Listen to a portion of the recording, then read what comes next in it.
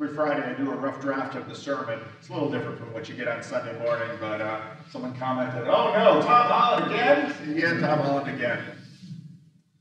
Was a great quote back when he published the book Dominion. He was on the podcast and he said this, and I wrote it down because I thought it said it so succinctly. Imagine you've got to write a story in which, for the first time, Somebody who suffers the excruciating death of a slave is going to be cast as being in some way part of the Creator God who's fashioned everything. And he's got to be convincing, not just to the people now, but for 2,000 years and across the span of the world. It's a really astonishing thing to have pulled off just as a literary feat. And that four people did it is amazing. So many of you grew up in church and you read those Gospels.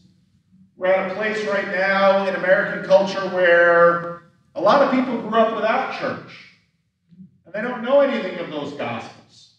And then one way or another, they find themselves with this Bible, and usually they're maybe in their 30s, so they've got a little bit of maturity, and they start reading these stories of Jesus, and they're like, my goodness, has anybody read these? You guys want to say, yeah, for a long time.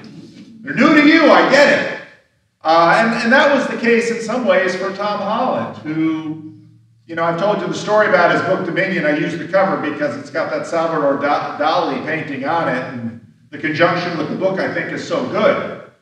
But Tom Holland, who spent his first years, six years in church, gave it up, did all these things, was writing about ancient history, wrote a book about the sources of Islam, which kind of annoyed a bunch of Muslim people.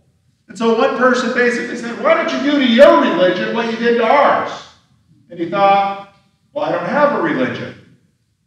And then he thought, Well, maybe I'll do to Christianity what I did to Islam. And then he wrote Dominion. And then he, his life was changed. And one of, the, one of the things you'll hear him say quite often on Twitter or on podcast is Jesus is the greatest short storyteller of all time.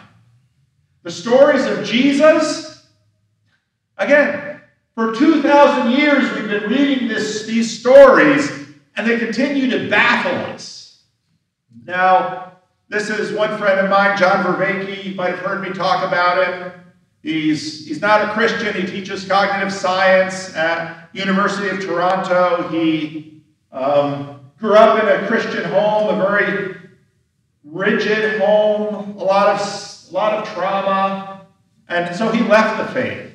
And then the guy next to him, Jordan Hall, I don't know near as well, didn't grow up at all in a Christian home. And they've been talking about all sorts of things that it would take me way more than half an hour to talk about them all here, but Jordan Hall going all around the world looking for some way to address the meaning crisis or the meta crisis. And so finally, he and his partner and their daughter had a whole list of communities all around the world that he wanted to go to to find a place and a way that he could really live the kind of life he wanted. And he went through almost every community on that list, tried them, checked them off, and then kind of they were looking to one last community. And on the way there, they drove through this little town in North Carolina, and where like 93% of the people are Christian. And they looked around and they said, This is it. And then they got an Airbnb and been living there, and someone invited his wife to church. And then she went a few times, and then she brought him. And he's become a Christian. He married his, the, his partner in the church on a Wednesday night. They had a potluck for the reception, and he got baptized, and now everyone is sort of a buzz at Jordan Hall became a Christian. And for him, it was like, I grew up in America surrounded by Christians, but never thought to pay any attention to it. It was the last place I looked. And there I found what I was looking for. They had this conversation where they're trying to sort things out. So much of the stuff is going on on the internet. And, and up comes this reference, which someone looked up and then sent to me by a book by Sallie McFague, which talks about the parable. And it's, the chapter starts with this parable. It was very early in the morning. The streets were clean and deserted. I was on the way to the railway station. As I compared the tower clock with my watch, I realized it was already much later than I had thought. I had to hurry. The shock of this discovery made me feel uncertain in my way. I was not very well acquainted with the town, and yet fortunately there was a policeman nearby, so I ran to him and breathlessly asked him the way. He smiled and said, for me, you want to learn the way? Yes, I said, since I can't find it myself. Give it up, give it up, said he, and turned away with a great sweep, like someone who wants to be alone in his laughter. You probably listened to this story and thought, well, that's not very nice. Sounds kind of like a bad dream. But the writer of this story is actually a very famous author, author, and once I name him, some of you will say, oh, yeah, I get it now. Kafka. Kafka would write these stories of frustration. This is a parable. And, and this parable sort of leaves you stuck in a place to ask questions. Well, how do I think about the police? What, what, what are my expectations of this world? It's all Kafka would write these novels that would leave people sort of frustrated because there's no solution, and that's what this parable does. Now, I use this because it's very difficult in a church to use the word parable and not have all of you think about the parables of Jesus because those are most of the parables you've ever known. There's a quality to parables often that there's, they seem to not have a bottom. The parable doesn't get resolved right away. You can understand it, you sort of get it, but there's something that sort of lingers with it. Now, Jesus, the greatest parable teller that ever lived, but the Old Testament has parables too. And if you know the Old Testament well, sometimes you find that Jesus is taking an Old Testament parable and he's bringing it into his world. And that's what we have today. Isaiah 5. I will sing for the one I love, a song about his vineyard. Hmm, who's singing? And who's him? My loved one had a vineyard on a fertile hillside. He dug it up and cleared it of stones and planted it with the choicest vines. He built a watchtower in it and cut out a winepress as well. Then he looked for a good crop of grapes. This is what anybody laboring to build a vineyard would be looking for. Grapes, which then will make wine. But it yielded only bad fruit. Oh, what's, what's this story about? Now, you dwellers in Jerusalem and people of Judah. And some of you will look up and say, oh, this is from Isaiah. Isaiah was a prophet towards the end of the story, not the very end like Jeremiah, but late in the story of the southern kingdom of Judah. You dwellers of Jerusalem and people of Judah, judge between me and my vineyard, Isaiah. No, no, no. This is the Lord speaking through Isaiah. What more could I have done for my vineyard than I have done for it? When I looked for good grapes, why did it yield only bad? Why did Israel and Judah not give to the Lord what the Lord was looking for? What was the Lord looking for? Now I will tell you what I am going to do to my vineyard. I will take away its hedge, and it will be destroyed. I will break down its wall, and it will be trampled. I will make it a wasteland, neither pruned nor cultivated, and briars and thorns will grow there. I will command the clouds not to rain on it.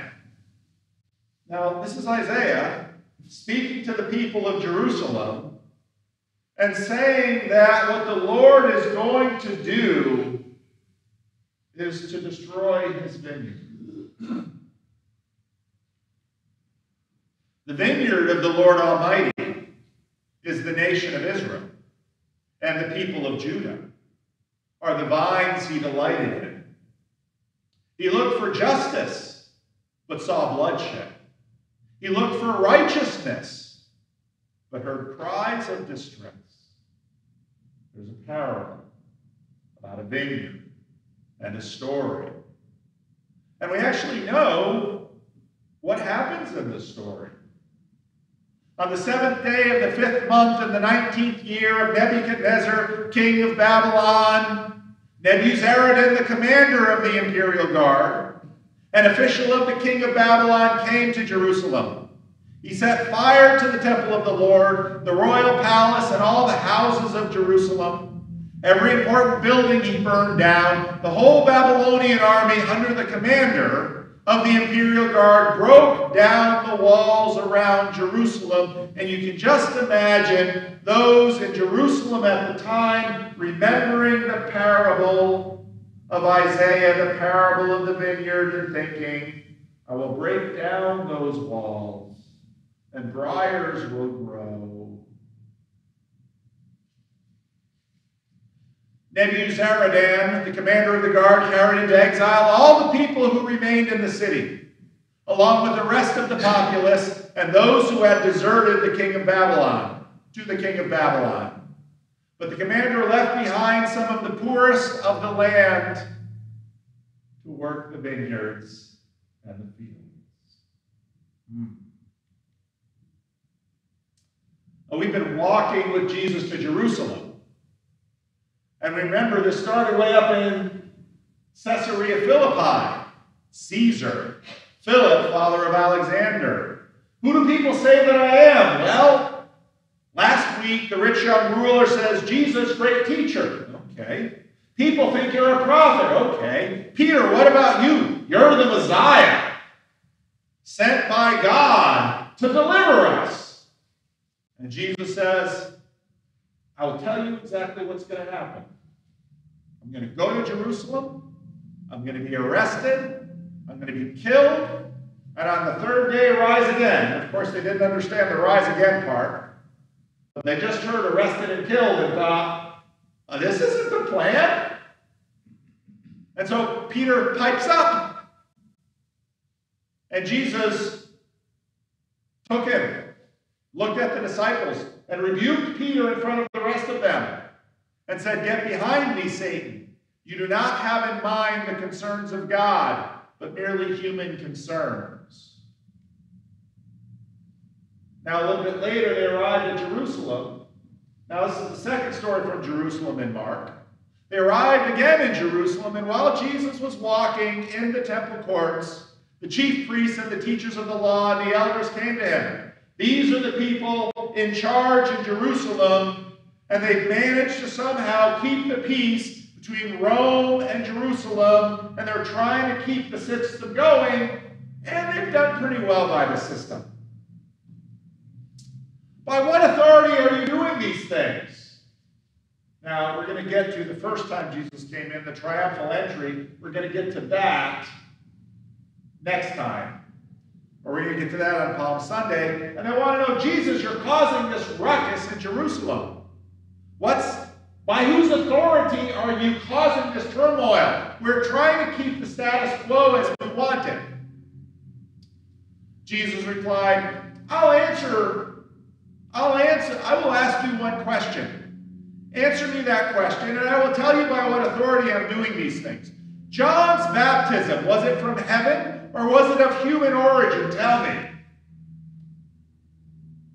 Now, is this a question because it's hard? Remember last week when this, this guy comes up and asks Jesus a question, the, the disciples are probably sitting back watching because it's like, you don't just kind of stroll up to Jesus and ask him a question and think you're going to get a straightforward answer. Jesus, Jesus is always doing something. And so they come to Jesus and say, Jesus, you're causing all this trouble.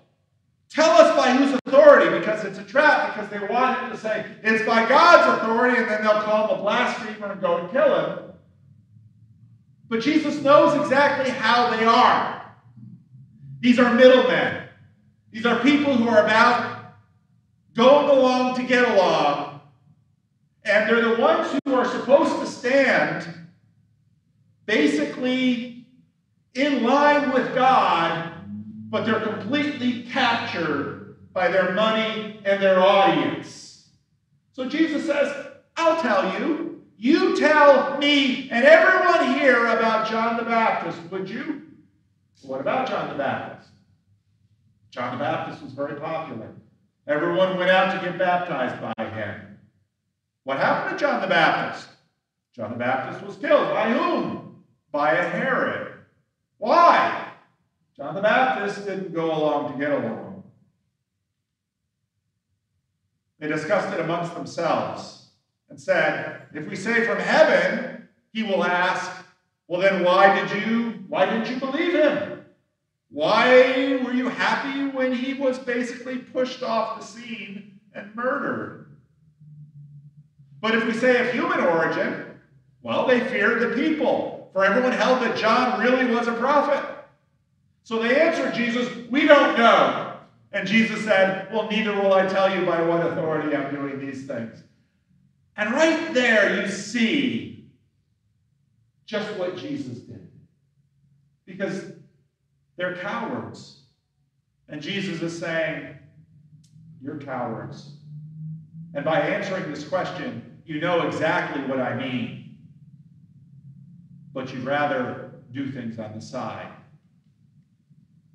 Jesus then began to speak to them in parables. Remember, if you go all the way back a number of sermons, Jesus talks to the crowd in parables, speaks plainly to his disciples. So now, now on the stage of Jerusalem, Jesus, I've got a parable for you.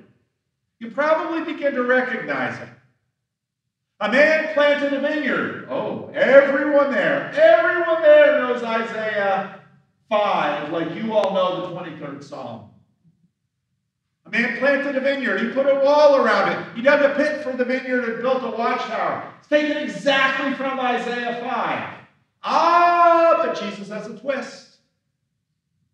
Then he rented the vineyard to some farmers and moved to another place. Everyone's been praying for the Lord to come back. But while the Lord's been away, who's been tending his vineyard? Oh, all the people that just asked Jesus that question. They're the people who are running the vineyard. How's the vineyard going? At harvest time, he sent a servant to the tenants to collect from them some of the fruit of the vineyard. But they seized him, beat him, and sent him away empty handed. Then he sent another servant to them. They struck him on the head and treated him shamefully. John the Baptist was beheaded. A lot of people have seen the illusion, the connection there. Then he sent still another, and that one they killed. And he sent many others. Some of them they beat, and others they killed. This is a funny parable. He had one left to send, a son whom he loved. He sent him last of all, saying, they will respect my son. But the tenants said to one another, This is his heir. Come, let's kill him, and the inheritance will be ours. Some of you might remember last week, we talked about Mark 10. As Jesus started on his way, a man ran up to him and said, Good teacher, what must I do to inherit eternal life? Right before that, Jesus had said, hmm, when they were pushing the children away, Jesus said, Let the children come to me. Why? Do not hinder them, for the kingdom of God belongs to such as them. Truly I tell you, anyone who will not receive the kingdom of God like a little child will never enter it. Huh. This is the heir. Come, let's kill him and the inheritance will be ours. These are not children receiving an inheritance. This is not even someone who is thinking, I'm going to use morality to qualify myself for an inheritance. No. This is murder and theft. Now, the funny thing about parables is often you can just easily understand them. So they took him, this beloved son, and they killed him, and they threw him out of the vineyard. What then will the owner of the vineyard do? He will come and kill those tenants and give the vineyard to others. Oh, they understood exactly what Jesus was saying. And he's going to drive in a Bible quote. Haven't you read the passage from Scripture? The stone the builders rejected has become the cornerstone. When I was in the Dominican Republic, we would build these little houses and churches for people. And if you've ever, it's, there's usually one or two room buildings, and they're not that large, and they're made up of cement block. But I'll tell you, if you're going to run a line of cement block, what's the first thing you need to do? You need to set in those corners, and they need to be square. You need to get that thing all lined up, because if that cornerstone isn't square, the whole building is going to be messed up. It's the first most important thing to set. The stone the builders rejected has become the cornerstone. The Lord has done this, and it is marvelous in our eyes. We see it, and we, we, we, it's just, some are happy, some are sad, but it's, it's like a miracle. Then the chief priests and the teachers of the law and the elders looked for a way to arrest him because they knew he had spoken the parable against them. But they were afraid of the crowd, so they left him and went away and thought, we'll get him when the time is right. We'll grab him at night, and we're going to get him. And they will. So was Jesus saved? We asked that question last week. Hmm. That's usually we ask, is he saved or is she saved? And, and we've looked at sort of salvation after life and, and, well, the assumptions of this life. And last week we talked about the rich young man and he went away sad. And Jesus says these strange things. How hard it is to enter the kingdom of God for the wealthy person. I thought, no, I thought a wealthy person was blessed. And Jesus says, with man, this is impossible. Well, with God, all things are possible. And, and, and they're, they're just trying to figure out if, if the wealthy aren't just exhibits of God's blessing, then who can be saved? And someone should have stopped the disciples and said, What do you mean by that funny word? For a lot of people, religion is mojo from on high to live your best life now. My sister's been playing around with AI and, and she made these seat covers in cars and it's quite hilarious.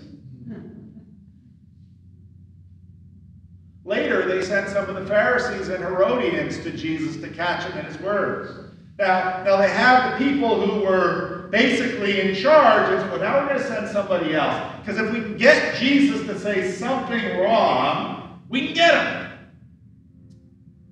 So then they came to him and said, Teacher, we know that you are a man of integrity, that you aren't swayed by others because you pay no attention to who they are, but you teach the way of God in accordance with the truth. So they're listening to the crowd and Okay, so all of these, the chief priests and the elders and the teachers of the law, we know they're all bought and paid for by Herod. We get it. But Jesus, yeah, Jesus, you're a straight shooter. You're a straight shooter, so let's catch you shooting straight, and then we'll get you arrested and killed. Is it right to pay imperial tax to Caesar or not? Oh, here's a gotcha question. Or should we pay or shouldn't we pay? Because if Jesus says, yes, it's right to pay Caesar, aha, you're sold out just like the rulers. If Jesus says, no, oh, you're an insurrectionist and we'll have you crucified. It's a no win question. Jesus knew their hypocrisy. It wasn't a truthful question. They didn't really want to ask a very difficult question. So what they did was they asked this question to trap. Why are you trying to trap me? He said. Bring me a denarius and let me look at it. And they brought him the coin, and he asked them, Whose image is on it? And whose the inscription? Caesar's, they replied. Then Jesus said to him, Give back to Caesar what is Caesar's, and to God what is God's. Almost everybody knows that line. Well, what is it? Well, what does it mean? Well, money comes from the government. Why do you think it's got their name and their pictures on it? Money, the government gives you money so you can pay taxes. That's why the government gives you money. Now, we use it for other things, but it all belongs to them. But what doesn't belong to God? So the question just sort of leaves you what do I do with this? Jesus' parables continue to provoke. This parable of the vineyard, we might sort of look at it and say, ah, Jesus was speaking that against them. Yeah. Did God bring Babylon to judge Israel? Yes. The Bible says so. Will God bring Rome to judge Jerusalem again? Yeah, he did. The temple will again be destroyed in 70 AD. How is that destruction related to the first? And how is it relatable to Jesus? And what exactly is the reign of Caesar? And how does that relate to us? See, this gets into this question again was Jesus saved? Because we might like hearing the answer. Well, God is going to bring judgment and destroy. Yes. Just on them. What about us? Huh. Jesus' rivals feared the crowd more than they feared Jesus. Hmm. Wonder what would be said of us. Jesus was pretty plain that they should be fearing the God who sent Nebuchadnezzar more than Nebuchadnezzar. In short, in short order, Jesus' rivals, however, will seem to win. Because I'm sure they said Jesus had all these fancy answers up there on the Temple Mount, but we got him. And they will. There are two central points in this statement that Jesus is the parable, because he is. He doesn't just speak parables, he's like a parable, and parables are like him. Jesus, as the parable of God, did not tell people about the kingdom. He did that. He told people about the kingdom. But he was the kingdom as was Israel. And the way his whole life brought people to the kingdom was through a juxtaposition of the ordinary within the startling new context. You're going back and forth between, well, this is about Israel. Well, this is about Israel before Nebuchadnezzar. This is about Israel before, but this is also about us. And Jesus comes to us and basically posts it and says, where are you in this story? And where is Jesus in this story? That's why these parables are so disorienting. If, this if theology is to be parabolic, meaning it goes back and forth, it must attend very closely to these features. That is, it must not be concerned primarily with explaining or systematizing the concepts about the kingdom, but must look carefully at the way parables function both the ones in the New Testament and Jesus as parable. The goal of the parable is not to impart a concept. The goal of the parable is to provoke and to say, what am I to do with this? Where am I in this story? What does this story have to do with me? Why can't I get to the bottom of it? So they took him and they killed him. And they threw him out of Jerusalem. What will the owner of Jerusalem do? He will come and kill those tenants and give Jerusalem to others. And he does. Does it end there? Does the pattern end there? Because the stone the builders rejected has become a cornerstone. Well, well, well, what stone is that? Well, it's Jesus, obviously. You all knew that. And he is the cornerstone. And when we try to take him out of the building, the whole building collapses. And so it never goes beyond Jesus, but you never exhaust him either. The Lord has done this, and it is marvelous in our eyes. Now, Jesus was not saved from the hands of his culture war rivals or from the empire. They will get it. He will be killed. Christians would repeatedly repeat this suffering. They go out into the Roman Empire, and guess what? They get killed too. Oh, not always physically, sometimes. Because this way of Jesus can't be contained. We try to make a little system of it, but he keeps, like a parable, breaking out of that system and reforming and reshaping. And, and the scary thing about it is what the, what, the, what the chief priests and the teachers of the law and the elders were terrified of, which was losing themselves is exactly what Jesus does. And that's how the story keeps going. Christians have and are inheriting a kingdom. It's always the same, and yet it's always fresh. And it's here in the strange way it was for Jesus. And I see that around me all the time.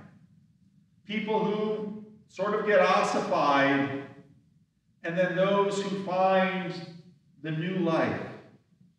It's interesting, even looking at my friends. Oh, I, I, I can't look at Christ because Christianity is problematic. And then those who have never really known it come in and say, My goodness, why have I never seen this? But it almost always boils down to Jesus and his way of life and what he did, that we ourselves become the parable. Because sometimes parables are made up of stories that are sort of fantastical, like that policeman, almost a dream. And sometimes parables are historical. Because on the night Jesus was betrayed, you're not. We all know that the chief priests and the teachers of the law and the elders, they want Jesus dead. Because they think if we can, if we can shut him up, if we can get rid of him, the problem will go away. but here's the thing about Jesus. He doesn't go away. because on Easter, he's going to come back. And, and they would all imagine, and we would imagine that when Jesus comes back, Jesus is going to knock on Herod's door and say, How do you like me now? And he's going to go to the chief priest and say, Look at the holes in my hands, but I'm still here. He's not even going to do that. He's going to go to his disciples and he's basically going to say, Now I'm going to ascend up into heaven and I'm going to send my spirit down, and you're going to repeat this story that I just did in your life too. And we think, maybe I'd like Caesar's story or Alexander's story because uh, I don't know that you would. But Jesus, your story is so costly. Yeah, it is. But Easter is coming too. Don't forget that. So, on the night that he's betrayed by one of his chosen twelve, he takes bread and he breaks it. And he said, This is my body, this broken bread in pieces. It's just bread. It's like human life in the Roman Empire. It's worth almost nothing. He said, This is my body. And it's broken. That's not news. Here's the news.